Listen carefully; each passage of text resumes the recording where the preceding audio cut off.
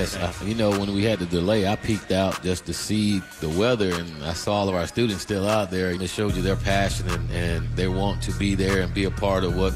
we're doing, and to see their football team out there, and, and I know our players appreciate that, and again, they're they're a part of us, they're a part of who we are, and, and that was a good showing, and again, we got to continue to build on that and, yep. and making it really tough.